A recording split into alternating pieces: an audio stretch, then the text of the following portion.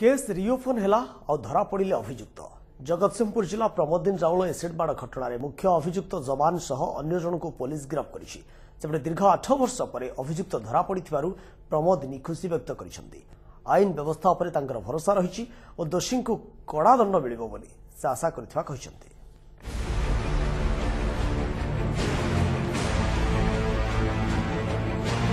ଦୀର୍ଘ ଆଠ ବର୍ଷର ଲଢ଼େଇ ପରେ ଧରା ଅଭିଯୁକ୍ତ। ମୁହଁ ଘୋଡ଼ାଇ ଛିଡ଼ା ହୋଇଥିବା ଏମାନେ ହେଉଛନ୍ତି ସେହି ଅଭିଯୁକ୍ତ ଯେଉଁମାନେ ଜଣେ ନିରୀହ କୋମଳମତୀ ଯୁବତୀର ମୁହଁକୁ ଏସିଡ୍ ପକାଇ ବିକୃତ କରିଦେଇଥିଲେ ଦୁଇହଜାର ନଅରେ ଜଗତସିଂହପୁରର ଚର୍ଚ୍ଚିତ ପ୍ରମୋଦିନୀ ରାଉଳଙ୍କୁ ଏସିଡ୍ ମାଡ଼ ଘଟଣାର ମୁଖ୍ୟ ଅଭିଯୁକ୍ତ ଆର୍ମି ଯବାନ ସନ୍ତୋଷ କୁମାର ବେଦାନ୍ତ ସହ ଅନ୍ୟ ଜଣଙ୍କୁ ଗିରଫ କରିଛି ଜଗତସିଂହପୁର ପୋଲିସ ସନ୍ତୋଷକୁ କୋଲକାତାରୁ ଗିରଫ କରାଯାଇଥିବା ବେଳେ ଅନ୍ୟତମ ଅଭିଯୁକ୍ତ ବିଶ୍ୱଜିତ ଦଳସିଂହ ରାୟକୁ ନୟାଗଡ଼ ରଣପୁର ଚମ୍ପାଗଡ଼ରୁ ଗିରଫ କରାଯାଇଛି। ଏମାନଙ୍କ ଗିରଫ ପରେ ପ୍ରତିକ୍ରିୟା ରଖିଛନ୍ତି ପ୍ରମୋଦିନୀ ଓ ତାଙ୍କ ପରିବାର। କହିଛନ୍ତି ଏହା ସତ୍ୟର ବିଜୟ।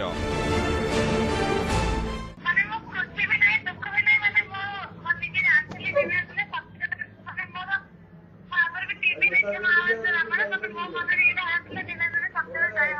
ଆଶା ବି ନଥିଲା ଯେ ମୋ ଝିଅ ନ୍ୟାୟ ପାଇବ ବୋଲି।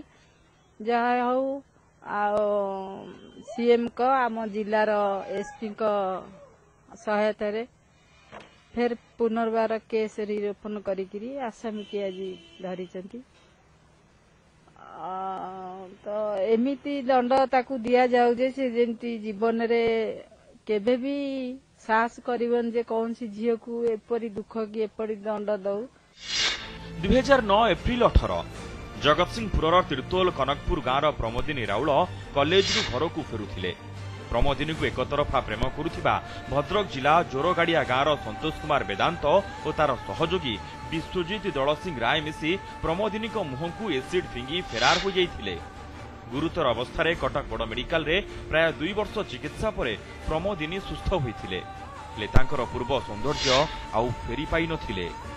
ପୀଡ଼ିତାଙ୍କର ମା କନକପୁର ଫାଣ୍ଡିରେ ଅଭିଯୁକ୍ତମାନଙ୍କ ବିରୋଧରେ ଏତଲା ଦେଇଥିଲେ ଘଟଣାର ତିନି ବର୍ଷ ପରେ ପ୍ରମାଣ ଅଭାବ ଦେଖାଇ ଅଭିଯୁକ୍ତଙ୍କୁ ଗିରଫ କରିନପାରି କେସ୍ କ୍ଲୋଜ୍ କରିଦେଇଥିଲା ପୋଲିସ ହେଲେ ହାର ମାନିନଥିଲେ ପ୍ରମୋଦିନୀ ଦୋଷୀଙ୍କୁ ଦଣ୍ଡ ଦେବାକୁ ଲଢ଼ିଲେ ଆଉ ଶେଷରେ କୋର୍ଟଙ୍କ ନିର୍ଦ୍ଦେଶ ପରେ ଦୁଇହଜାର ସତର ଅଗଷ୍ଟରେ ଏହି କେସ୍ ରିଓପନ୍ ହୋଇଥିଲା ଆଉ ଏବେ ଅଭିଯୁକ୍ତଙ୍କୁ ଧରିବାରେ ସଫଳ ହୋଇଛି ପୋଲିସ ମୋବାଇଲ ଟ୍ରାକିଂ କରିକିରି ସେପଟେ ଆସିକିରି ତାଙ୍କୁ କଲିକତାରୁ କାଲି ଅଣା ହେଇଛି। ତାଙ୍କୁ ଆଜି ଗିରଫ କରାହେଇଛି ଏବଂ ଆଉ ଜଣେ ତାଙ୍କର ଯିଏ ସହଯୋଗୀ ଅ, ଅନିଲ ଏଲିଆସ୍ ବିଶ୍ୱଜିତ ଦଳସିଂହ ରାୟ ସେ କାଲି ଚମ୍ପାଗଡ଼ରୁ ତାଙ୍କୁ ଆରେଷ୍ଟ କରାହେଇଛି।